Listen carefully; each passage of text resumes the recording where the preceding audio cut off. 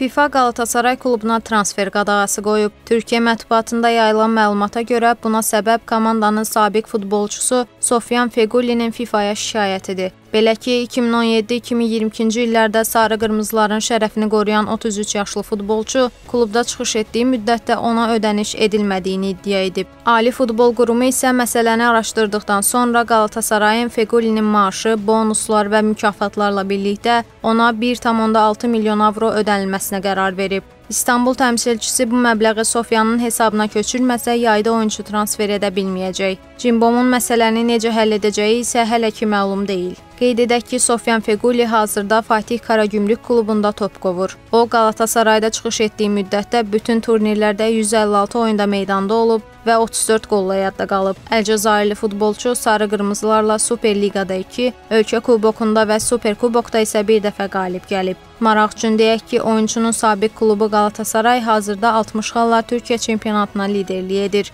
Fatih Karagümrük isə 31 xalla 9-cu pillədə qərarlaşıb.